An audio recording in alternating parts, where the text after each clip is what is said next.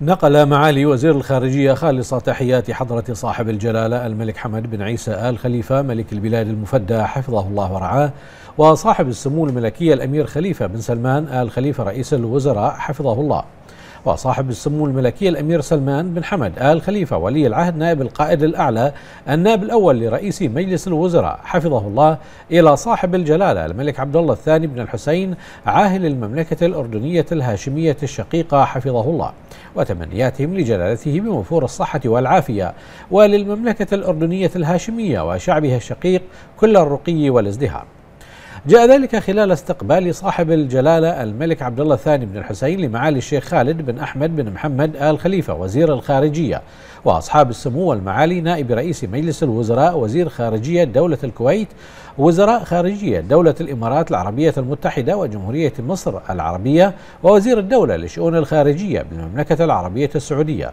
المشاركين في اللقاء التشاوري الذي سيعقد غدا بمنطقة البحر الميت بالمملكة الأردنية الهاشمية.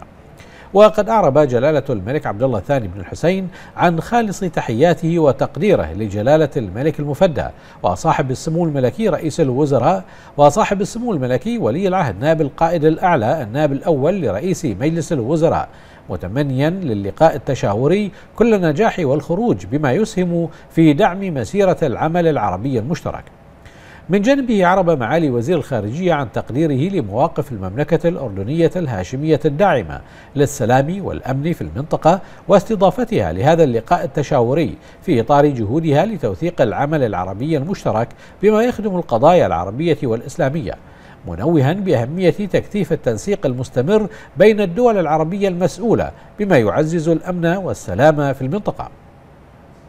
وكان معالي الشيخ خالد بن أحمد بن محمد آل خليفة قد وصل إلى مدينة عمان اليوم حيث كان في مقدمة مستقبلي معالي السيد أيمن الصفدي وزير الخارجية وشؤون المغتربين بالمملكة الأردنية الهاشمية وسعادة السفير أحمد يوسف الرويعي سفير مملكة البحرين في عمان.